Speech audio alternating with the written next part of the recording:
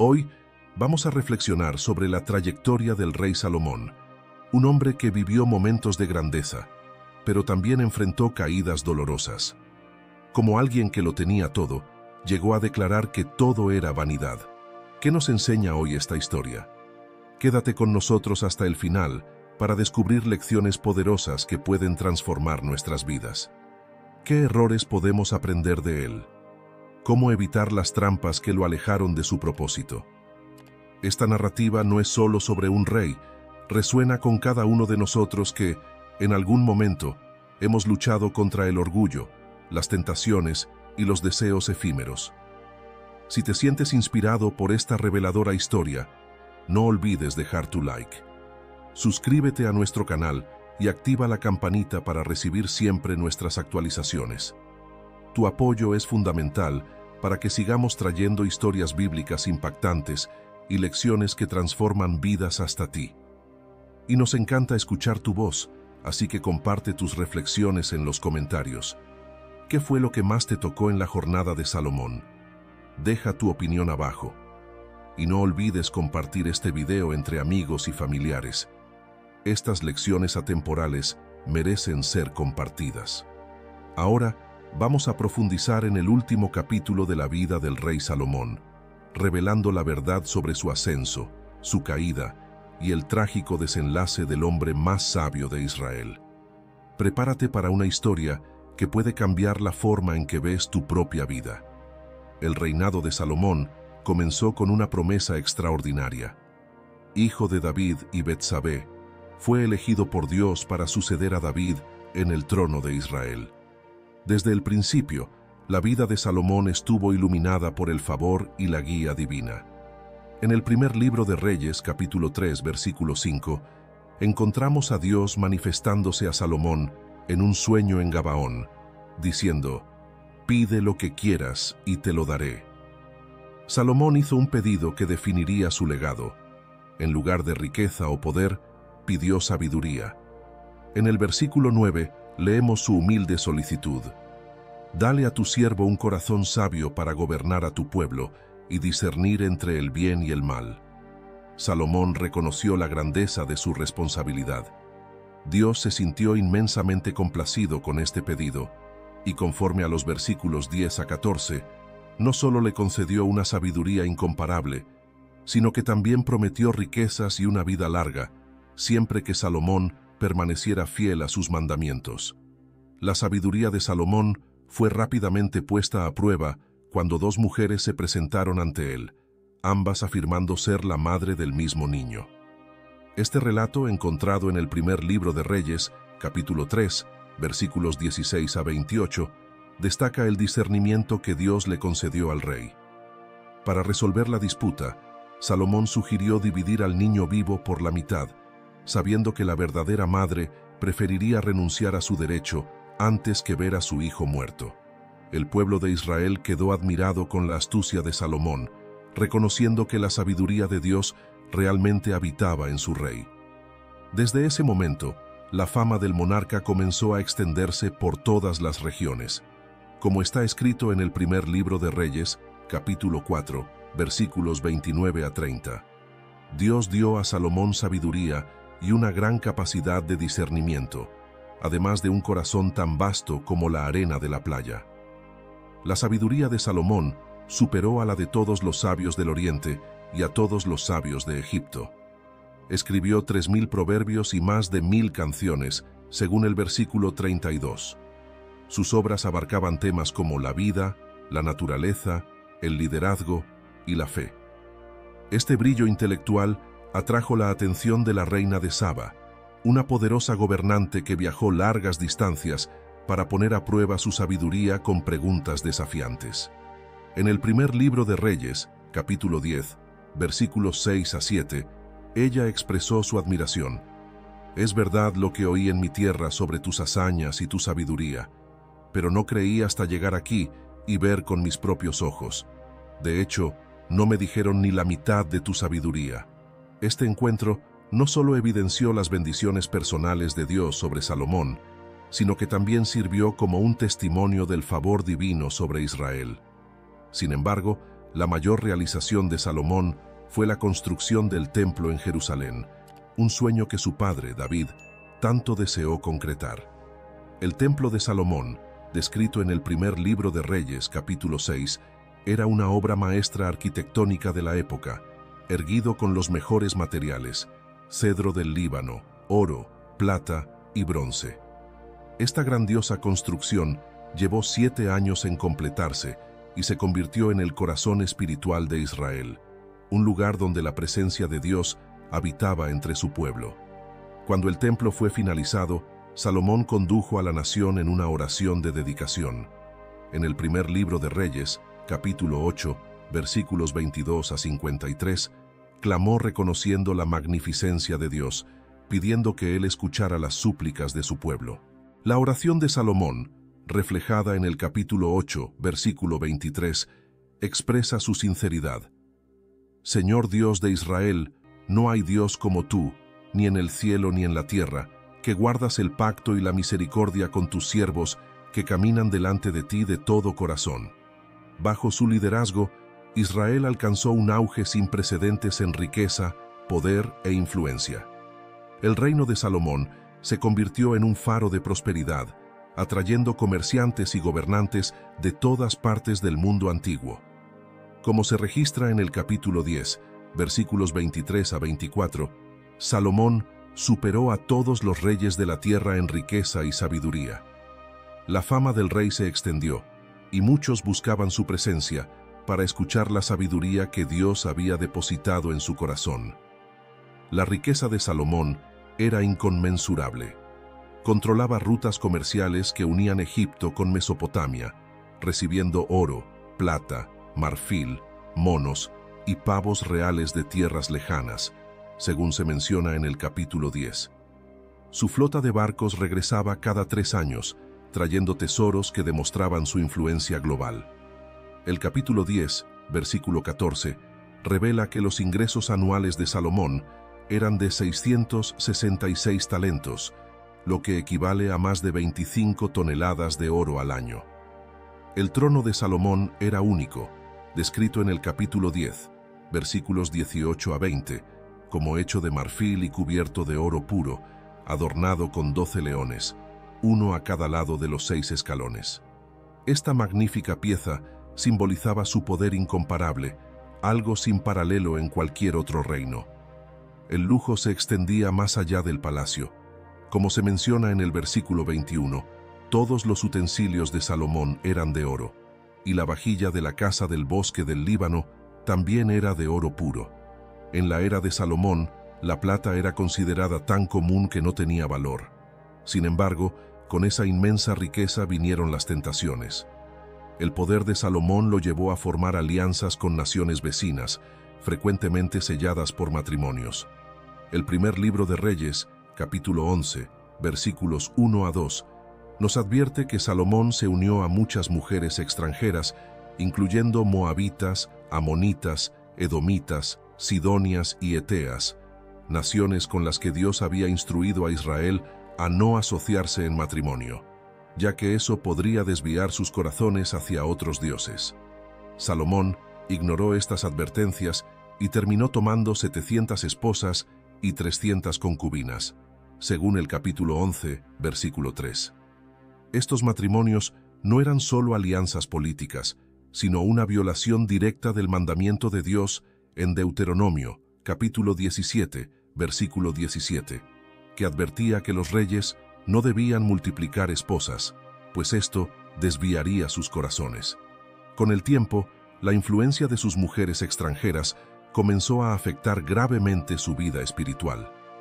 El versículo 4 del mismo capítulo revela que cuando Salomón envejeció, sus esposas lo llevaron a seguir dioses extraños, y su corazón ya no era completamente fiel al Señor, como el de su padre, David. A pesar de la inmensa sabiduría que Dios le concedió, Salomón permitió que su amor por estas mujeres oscureciera su devoción al Dios de Israel. Su desobediencia se manifestó en la construcción de altares en lugares elevados, donde se ofrecían sacrificios a dioses extranjeros. Erigió altares para Astarte, la diosa de los Sidonios, asociada a la fertilidad y a la sensualidad, en total oposición a la santidad de Dios, como se registra en el capítulo 11, versículo 5.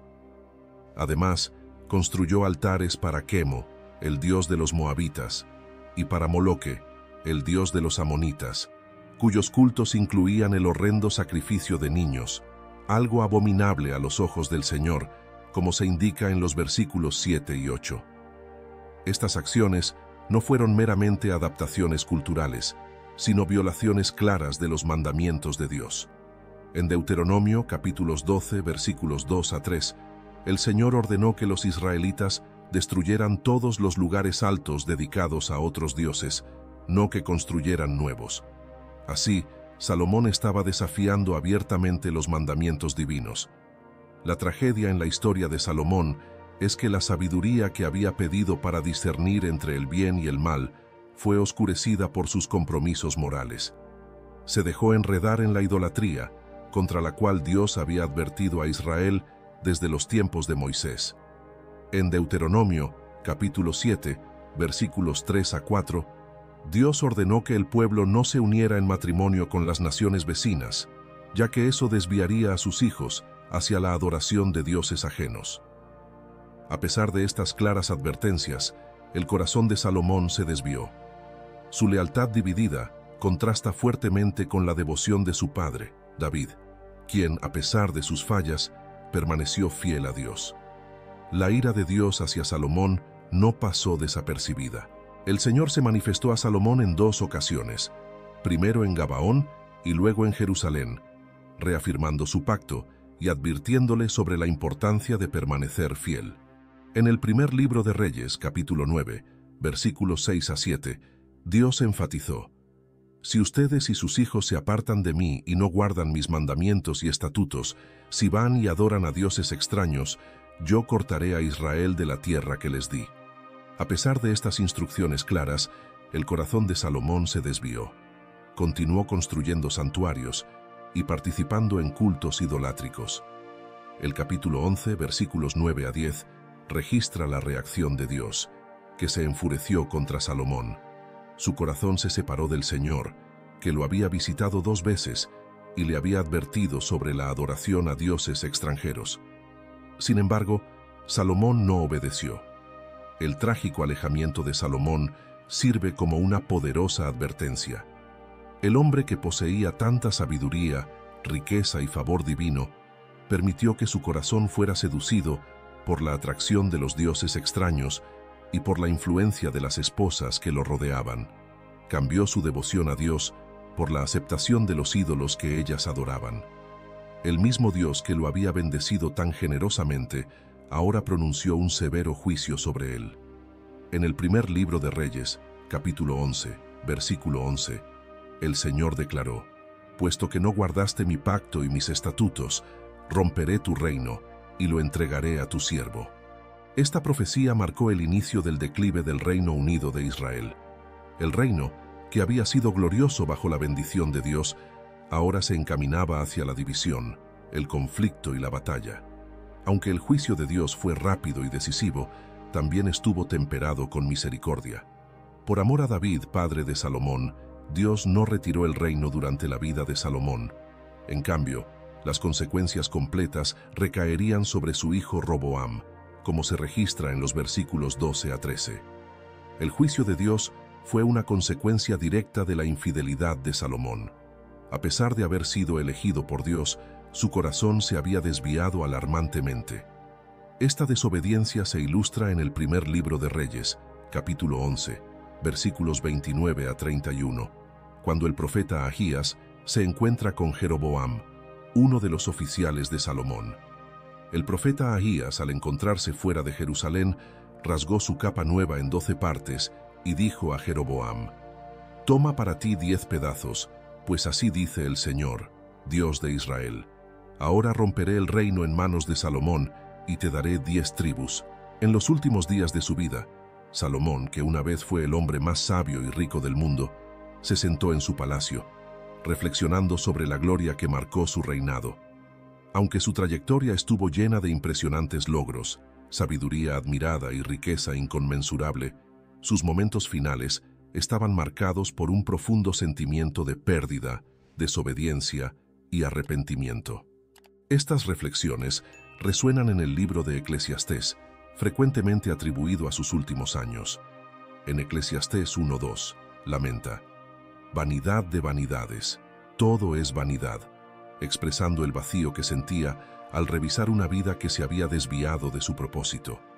A pesar de su inmensa sabiduría, Salomón había olvidado al Dios que le proporcionó todo. Mientras permanecía en su palacio, su mente vagaba por los años pasados.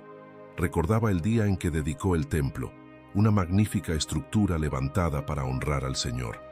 En el primer libro de Reyes, capítulo 8, oró fervorosamente por la presencia de Dios, y la gloria divina se manifestó como una nube, confirmando su aceptación de la obra. Sin embargo, ahora, el corazón de Salomón se distanciaba de esa devoción. En Eclesiastés 2.10 a 11, reflexiona sobre la futilidad de sus búsquedas. No negué a mis ojos nada de lo que desearon y no privé a mi corazón de ningún placer. Sin embargo, al considerar todas las obras que hice y el esfuerzo que dediqué, me di cuenta de que todo era vanidad y correr tras el viento, sin provecho alguno debajo del sol. La riqueza le permitió experimentar todos los placeres, pero la realización verdadera seguía fuera de su alcance. Salomón construyó inmensos palacios, plantó viñedos y acumuló tesoros, incluso importando animales exóticos. Contaba con cientos de sirvientes y músicos para su entretenimiento. Sin embargo, al llegar a la vejez, todos esos sueños le parecían vacíos.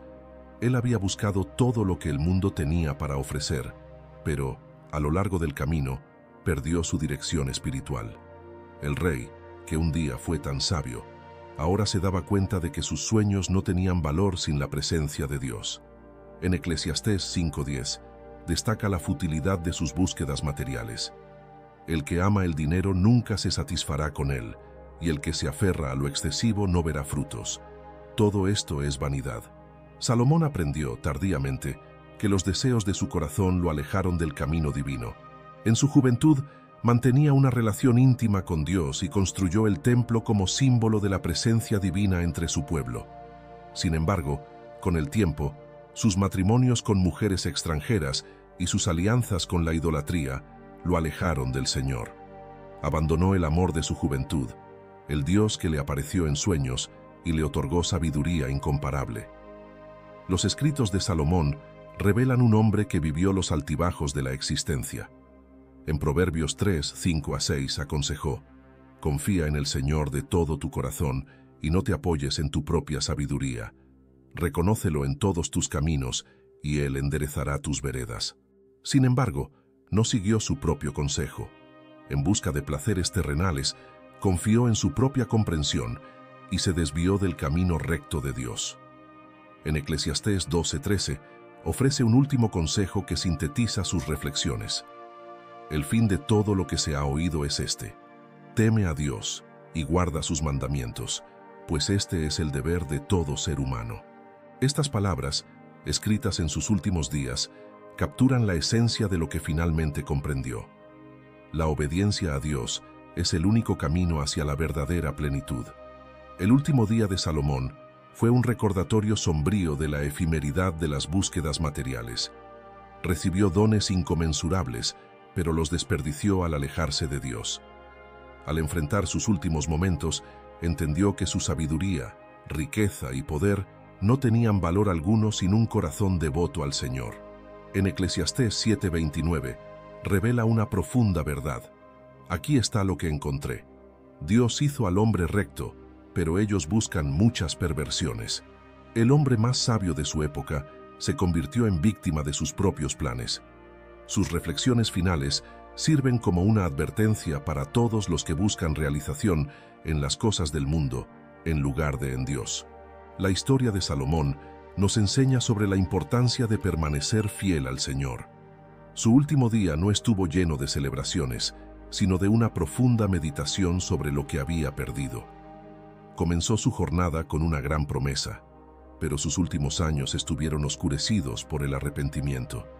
El rey que poseía tanta sabiduría aprendió de la manera más dura que ninguna cantidad de riqueza sabiduría o placer puede sustituir un corazón devoto a Dios. Que las palabras finales de Salomón resuenen en nosotros, recordándonos que nuestro verdadero propósito no está en la búsqueda de bienes materiales, sino en temer a Dios y cumplir sus mandamientos.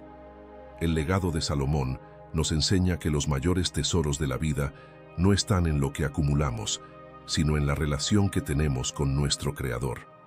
El último día de Salomón no fue una celebración de la victoria, sino un lamento por una vida alejada de Dios. Aprendamos de sus errores. Lo que realmente importa no es cómo comenzamos, sino cómo terminamos. Desafíate a reflexionar sobre tu propia jornada. ¿Cómo puedes mantenerte fiel a Dios en medio de las distracciones del mundo? Comparte tus reflexiones en los comentarios y únete a nuestra comunidad en busca de sabiduría y propósito. Agradecemos que hayas visto este video. Si te pareció esclarecedor, dale like, suscríbete y comparte para que más personas puedan inspirarse con estas lecciones atemporales. Recuerda, la verdadera sabiduría viene de seguir a Dios con todo el corazón, mente y alma. Caminemos juntos por este sendero